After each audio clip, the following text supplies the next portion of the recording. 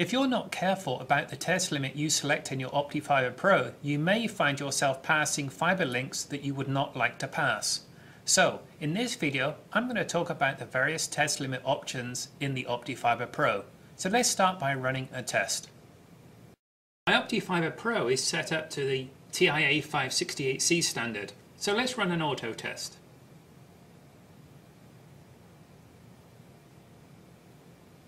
Here I see my traditional OTDR graph. And here is the OptiFiber Pro event map. And we can see that we have pass in the right hand corner, so everything's good. Our loss is 0.17 dB and our reflectance is minus 29.25 dB. But hold on one moment. You need to be careful here.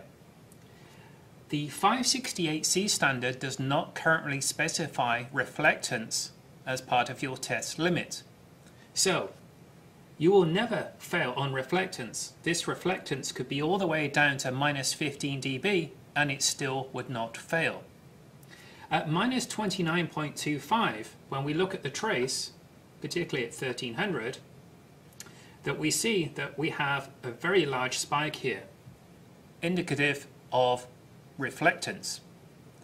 There are many OTDR folks out there who would look at this and go, I'm not going to accept that. That's too much reflectance. Yet why did your tester come up with a pass? Well, again, our test limit selected is TIA and it doesn't have a reflectance limit in there.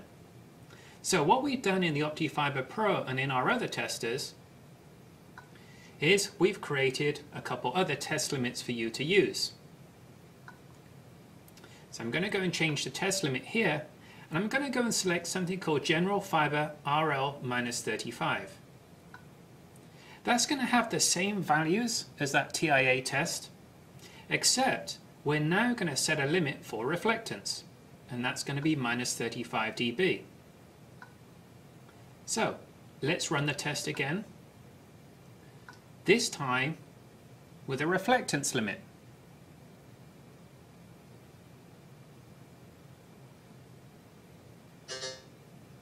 And lo and behold, it failed. Why?